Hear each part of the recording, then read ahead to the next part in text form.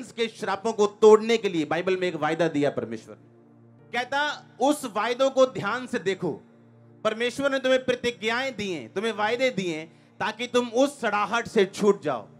आपकी लाइफ में, आपकी मिनिस्ट्री में, आपके बिज़नेस में, आपकी फैमिली में मेरेकल्स बढ़ते हैं जैसे जैसे आप स्वर्गीय स्वभाव में बढ़ते हो।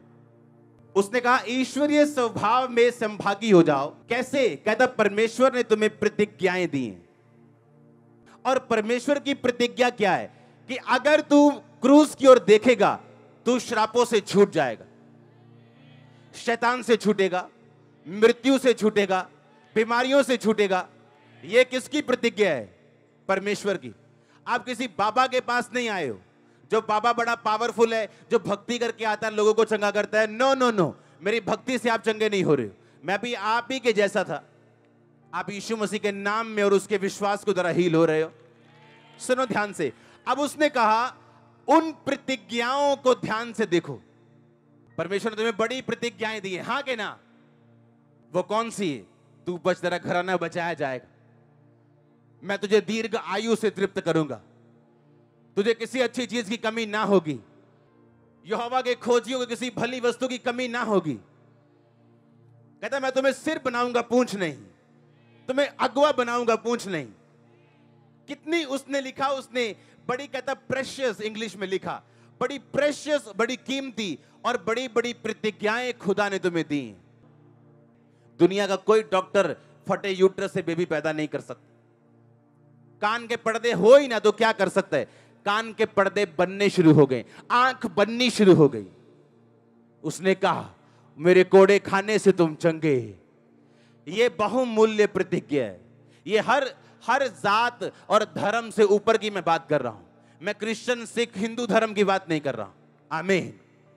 मैं आपको परमेश्वर की बात कर रहा हूँ, जो ना किसी जाति का, ना किसी धर्म का है। उसने कहा, मैंने तुम्हें बड़े वायदे दिए अगर तुम अपना ध्यान उन वायदों पे लगाओ अगर यूथ लगाए अपना वायदों पे ध्यान, कि जीसस ने मुझे एक्सीलेंस लाइफ जीने के लिए बुलाया। उसने मुझे मेरे मेरे मेरे काम में परफेक्ट होने के लिए बुलाया, ऊँचा जाने के लिए बुलाया, मुझे ब्लेस करने के लिए बुलाया। कहता, फिर तुम उस सड़ाहट से छूट जाओगे जो बुरी अभिलाषाओं से होती। तुम अपने आप को फ्री करते जाओगे और ईश्वरीय स्वभाव में सहभागी हो जाओगे। कहता, मैं संसार की सब जातियों में से तुम्हें श्रेष्ठ करूँगा। एक्सलेंट नंबर वन करूँगा।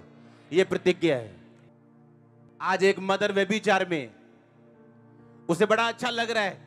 उसके पति का बॉय गर्लफ्रेंड अलग है। उसकी उसका बॉयफ्रेंड अलग है। लेकिन जब उसकी लड़की ऐसा कर रही है, अब वो सड़ रही है। उसे फील हो रहा है। उसे बेजती महसूस हो रही अब उसे मुश्किल लग रही बाइबल में यही तो लिखा है। कहता, उस सड़ाहट से तुम छूट जाओ।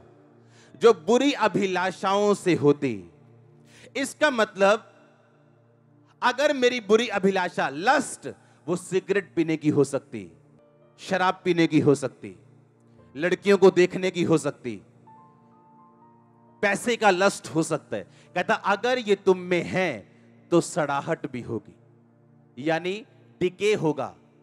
तुम सड़ोगे कहीं बिज़नेस में, कहीं फैमिली में, कहीं बच्चों में कहीं रिलेशनशिप में, कहीं अपनी चर्च में, फिर तुम बोलोगे, ये क्यों नहीं हो रहा?